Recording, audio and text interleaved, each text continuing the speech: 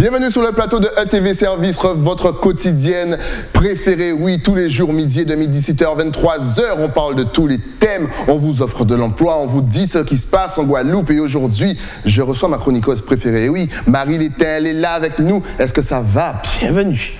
Merci, ça va très bien. J'en profite pour souhaiter une très bonne année aux auditeurs de de TV. Eh oui, eh oui, bonne année à vous. J'espère que les fêtes se sont bien passées. En tout cas, aujourd'hui, on va parler d'un sujet qui vous a vraiment beaucoup fait parler pendant les vacances. Je ne sais pas pourquoi, les manipulateurs et les personnes toxiques. Qui sont-ils? Comment se libérer de leur emprise? Eh, Tu vas tout nous expliquer comme il se doit. Mais déjà, première question, qu'est-ce que la manipulation? Alors, qu'est-ce que la manipulation? En fait, la manipulation, ce sont des techniques qui sont mises en place par certaines personnes pour obtenir des choses de nous de manière détournée, on va dire même vicieuse. Ou alors pour nous pousser à avoir des comportements qui puissent, des comportements qui puissent, euh, on va dire, euh, vraiment nous faire du tort. Mais pourquoi justement euh, manipuler? Pourquoi ne pas simplement demander? Est-ce que la personne donc, qui manipule a un problème psychologique? Alors, il y a deux auteurs qui écrivent là-dessus. En, tout cas, comme moi je suis, euh, qui, sont mes formateurs, on dirait. Euh, c'est euh, Isabelle Nazaraga mhm. et Irigoyen, Marie-France Irigoyen. Et là, Marie-France Irigoyen, elle est psychiatre. Et elle pense que ce sont effectivement des cas pathologiques. D'accord. Et est-ce qu'on est manipulateur ou est-ce qu'on devient manipulateur? Bonne question. Ah ouais, je, sais, j'essaie de travailler un petit peu. très, bonne question. Je pense qu'on peut le devenir. D'accord. Est-ce qu'on est manipulateur euh, J'en sais rien. Mais on peut le devenir surtout quand on est face à des parents qui eux-mêmes utilisent des techniques de manipulation avec leurs enfants. Et ça, ça existe. Ok. Alors comment reconnaît-on maintenant quelqu'un de manipulateur? Alors, quelles sont les pratiques des personnes manipulatrices Déjà. Voilà. Leurs pratiques, euh, ce sont des personnes qui ne disent jamais ce qu'elles veulent de manière franche. Ce sont des personnes qui mentent en général, qui sont toujours euh, dans euh, la fuite. Ok. Devant vous, ce qu'elles vont dire, ce n'est pas ce qu'elles vont dire derrière vous. Ah, donc c'est des hypocrites. eh ben, ce sont des personnes qui regroupent effectivement un peu toutes ces caractéristiques ce sont des personnes qui sont très séducteurs parce qu'il faut savoir qu'il y a différents types de manipulateurs. Voilà. Je vais en citer peut-être déjà quatre voilà, qui, sont, qui tournent dans notre environnement euh, proche. On a le manipulateur qui est timide, hein, qui va vous suggérer des petites choses euh, contre quelqu'un. Vous avez le manipulateur séducteur. C'est celui, waouh, qui vous trouve avec. Vous avez toutes, euh, toutes les qualités du monde, etc. Mais vous inquiétez pas, c'est pour mieux vous cueillir après. Ah, oui, vous avez après le manipulateur dictateur, celui qui impose sa volonté. D'accord. Vous avez le manipulateur sympathique, qui n'a rien à voir hein, avec le, le, séducteur. Le manipulateur sympathique, celui qui l'intéresse, c'est de devenir la personne franchement euh, idoine, celle qui est super gentille, etc. Bon, vous auriez même aimé lui ressembler. Et c'est pour mieux prendre votre place. D'accord. Ah, c'est fou. Et comment justement est-ce qu'on reconnaît? Et est-ce qu'il est existe un manipulateur qui regroupe toutes ces caractéristiques? Alors en fait, le manipulateur, il porte des masques. Ok. Donc, il peut passer de séducteur à dictateur. Ok. Voilà. Et ça, on le trouve souvent dans les couples. D'accord. Voilà. On peut avoir un, un compagnon ou une compagne manipulateur, manipulatrice, et euh, pour obtenir ce qu'elle veut, cette personne, eh bien, elle va te faire un très beau cadeau. Ouais. Seulement, quand tu vas porter, je sais pas moi, ce, ce beau cadeau, on va dire cette paire de boucles d'oreilles, waouh, cool, je lui fais plaisir, je porte, ah mais finalement, euh, la boucle d'oreille est très belle, mais euh, mais pas sur toi, mais ta mauvaise mine, ok, et, ah, binga. Vous croyez que vous lui faites plaisir, mais il vous casse tout de suite. D'accord. Donc en fait, ce sont des personnes qui ont besoin d'avoir du pouvoir et de dominer. Ok. Voilà. Et, et justement, quel parallèle peut-on faire avec une personne toxique? Est-ce qu'un manipulateur est une personne toxique? Évidemment. Bien entendu. On pourrait dire qu'une personne toxique n'est pas forcément manipulatrice. Ok, d'accord. Même manipulateur, c'est une personne toxique. Une personne qui vous ment, Une personne qui vous dénigre, qui vous dévalorise, parce que le manipulateur, il est toujours dans ce schéma. Il, vous, il ment, il vous dénigre, il vous dévalorise. Euh, attendez, c'est une personne. Qu'est-ce que vous faites à côté de cette personne quand vous avez découvert son mode de fonctionnement? Par contre, une personne toxique, c'est celui qui viendra toujours vous raconter ses merdes. Ok. Oh, ça va pas. Et là, l'art de vous casser le moral. Alors justement, ça, tombe bien parce que j'allais poser la question, comment reconnaît-on quelqu'un de toxique? Ah ben, je viens de le dire, quelqu'un, quand vous êtes à côté d'elle, cette personne, quand vous la fréquentez, vous vous rendez compte, oh là là, je suis arrivée avec une belle énergie, et, elle, elle m'a pompé. Ok. Elle m'a raconté tous ses déboires. La fête de fin d'année, waouh, tout était cool, mais bon, euh, on était ensemble, on a bien vu que tout était bien. Mais elle, elle ne va vous raconter que ce qui n'allait pas. le repas n'était pas bon, c'était pas assez chaud. voilà, le repas était très bon, mais le mais, le grand annulateur. Ok. Mhm. Le mais. Toujours important, du mais. Oui, le mais qui tue. Exact, le mais qui tue. Voilà. Ok. Exactement, mais tu sais. Mais t'as pas vu comment elle était finalement? T'as pas vu ce qu'elle t'a dit? Toi, t'as rien vu du tout. on était dans, l'amusement, dans la fête, dans la joie. Finalement, elle crée le doute dans ton esprit. Donc, euh, les personnes toxiques, euh, bon, je suis désolé, il faut les fuir. Hein. il n'y a, que a que cette partie-là, justement, de personnes qui se plaignent à chaque fois. Il n'y a que ça chez la personne toxique, on peut la reconnaître avec d'autres agissements. Ah non, on peut la reconnaître avec d'autres agissements. C'est quelqu'un bon, ben, qui se plaint, bon, qui est négatif, euh, qui peut aussi mentir, qui dit du mal des autres. voilà. Et rien n'est jamais forcément à son goût. Mais encore une fois, une personne toxique n'est pas forcément manipulatrice. Tandis qu'une personne manipulatrice regroupe pratiquement toutes les, toutes les caractéristiques d'une personne toxique. Alors comment justement arrive-t-on à se détacher? Parce que là, on a des téléspectateurs peut-être qui, sont en train de se dire, mais je suis avec une personne toxique en fait, avec quelqu'un qui me, qui me manipule. Comment se détacher déjà de cette manipulation? Alors, encore une fois, la personne toxique ne manipule pas forcément. Alors, comment se détacher d'une personne toxique? C'est pas la peine de lui dire qu'elle est toxique. Hein. De toute façon, c'est une personne qui souffre, c'est une personne qui a un mal-être, etc. Bon, écoutez, vous n'êtes pas thérapeute. Euh, bon. Et puis euh, souvent, les personnes qui écoutent ces personnes toxiques sont de véritables éponges. Quand elles sortent de là, waouh, leur doit aller tomber. Ah Quand vous vous rendez compte de ça, bon, si vous vous détachez, elle vous appelle, bon, écoutez, euh, bon, il y a mon portable qui sonne, j'ai un double appel, je sais pas moi, faut tricher. Faut euh, mais oui, il faut tricher. faut tricher, fuyez, courez. Oui, voilà, faut tricher. même Agar, Nazar Agar, il le dit, bon ben, vous avez une mère, un, ami qui est toxique, vous allez le voir, vous êtes allé manger au restaurant, c'était cool c'était hyper bien. Bon, elle arrive, alors comment tu as passé les fêtes de fin d'année? Tu dis, oh, on a fait comme on a pu. on, ne va pas lui raconter. Elle va dire, ah ouais, mais moi, tu sais, ça n'a pas. Oh, papa, bon, on sait, on évite de raconter sa vie à une personne toxique parce que je vous assure, elle va vous. Voilà. Mais comment se détacher d'une personne manipulatrice? Alors, la personne manipulatrice, je ne dirais pas que c'est un peu plus compliqué. Autant une personne toxique, bon, on peut plus ou moins jongler. La personne manipulatrice, il faut la fuir. Ok. Vraiment, euh, te dit que ce sont pratiquement, elle est psychiatre, hein, elle vous dit que ce sont pratiquement des cas pathologiques.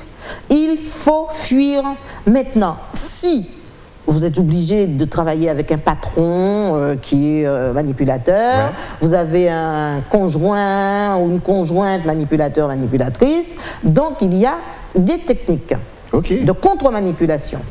Donc, euh, effectivement, euh, moi, pour avoir vécu ça, je me suis vraiment formée euh, avec la programmation neurolinguistique, l'hypnose, à accompagner les personnes qui sont face à des manipulateurs. pour sortir, de, on va dire, de, ce triangle, voilà. de ce triangle dramatique. Voilà, parce que le manipulateur, il faut faire attention. Hein. Quand il n'arrive pas à avoir ce qu'il veut, euh, il, se fait passer pour la victime. Hein. Ok. Il faut savoir que le manipulateur, quand vous croyez qu'il vous manipule, il manipule aussi votre entourage. D'accord. Mais évidemment. Vous ah, il laisse rien au hasard, quoi. Ah, non, non, non, non, mais c'est vraiment un cas pathologique. D'accord. On a l'impression d'être dans l'esprit criminel. Ah, et là, le manipulateur a un objectif. C'est quelqu'un qui n'aime pas la concurrence. Surtout si on est face à un manipulateur dictateur. Il n'aime pas. Il aime le pouvoir. Il a, lui, c'est lui, qui a le pouvoir, il contrôle. Et en plus, il faut savoir que ce sont des personnes qui s'attaquent à des personnes intelligentes, morales et courageuses. Un manipulateur ne va jamais s'attaquer à quelqu'un qui est faible. Ah ouais? Ah ben bah, Ça, j'aurais pensé le contraire. Pas du tout. Pas du tout. Donc, il aime s'attaquer à quelque chose qui a un niveau? il y a un niveau. Parce que si tu n'as pas de niveau, tu ne vas pas résister. Parce qu'en fait, qu'est-ce qui se passe? Tu essaies de comprendre, mais je ne comprends pas. Quelqu'un qui... Euh, qui a de la stature, quelqu'un qui est légitime dans, sa profession. Euh, mais s'il agit comme ça, c'est qu'il y a une raison. J'ai un problème. Ok. Ah ben non, tu n'as pas de problème. Il a un objectif, c'est quelque part, soit tu es en concurrence avec lui, soit tu es plus ou moins apprécié par l'entourage et lui, il a besoin de se mettre en... Il a un objectif. Alors c'est manipulateur. Qu'est-ce qu'il va faire? Tu crois qu'il va te manipuler? Bah, bien sûr qu'il va te manipuler. Mais il a besoin que tu perds en crédibilité face aux autres. D'accord. C'est le genre de personne, en fait, dans une réunion où vous êtes avec d'autres personnes, il a un objectif. Trois, il faut qu'il t'élimine. Parce que, oui, il faut qu'il t'élimine. Et qu'est-ce qu'il peut faire? Te décrédibiliser face aux autres. Et il faut savoir que ce sont des personnes qui sont très intelligentes. Les manipulateurs imbéciles, ça n'existe pas. ok, c'est bon à savoir aussi. Non, non, non, non. Un manipulateur, c'est quelqu'un qui est très intelligent. C'est quelqu'un qui instinctivement sait reconnaître les faiblesses de l'autre. D'accord. Et on les trouve souvent dans les milieux médicaux, dit-on. Ok. ah, en plus ah ben, Faites gaffe aux médecins Oh bon, mais des spécialistes. Hein. Voilà, au niveau... Donc, Faites gaffe aux thérapeutes Non, mais c'est une réalité, sauf qu'on que on dit que le thérapeute, lui, il est formé grâce à la programmation neurolinguistique, à reconnaître, on va dire, les blessures des personnes. D'accord. Mais à l'aider justement à les transformer pour pouvoir en faire quelque chose d'aidant. D'accord Mais le manipulateur, lui, qu'est-ce qu'il fait? Il va utiliser les faiblesses pour mieux, on va dire, détruire la personne. Ok. Ah, donc je disais, et en plus ce sont des personnes, on dirait que c'est inné, c'est inné. Ils savent tout de suite reconnaître, clac, celui-là, il a une faiblesse là. Et il saura au moment où il faut appuyer sur le buzzer. Alors, je prends un exemple, par exemple.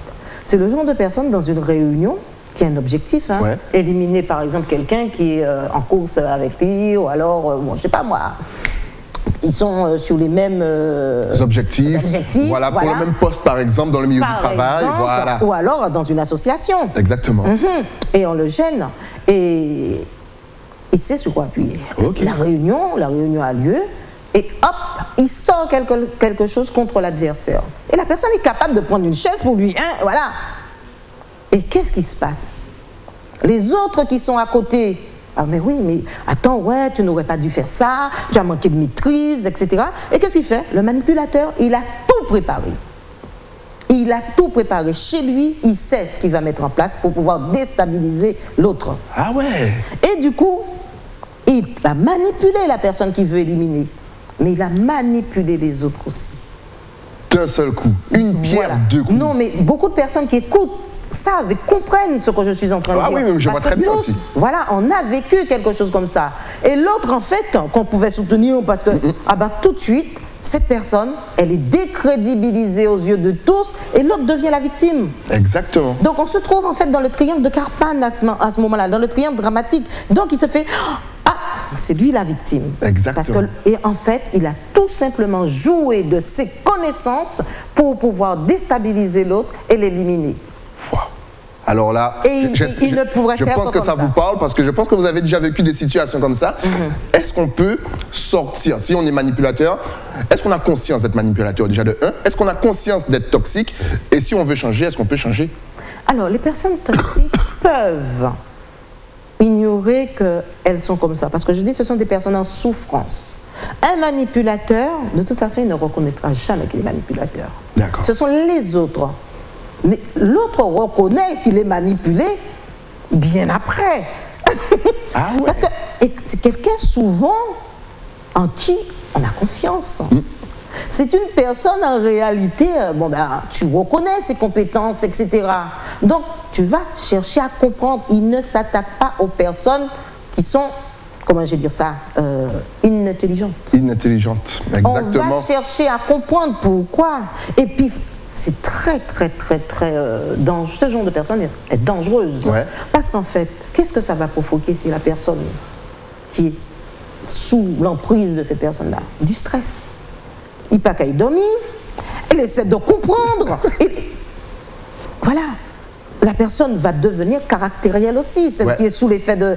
Elle va devenir stressée, elle va répondre de n'importe quelle manière. Exactement. Voilà, son comportement. Parce qu'il faut savoir une chose qui est très simple.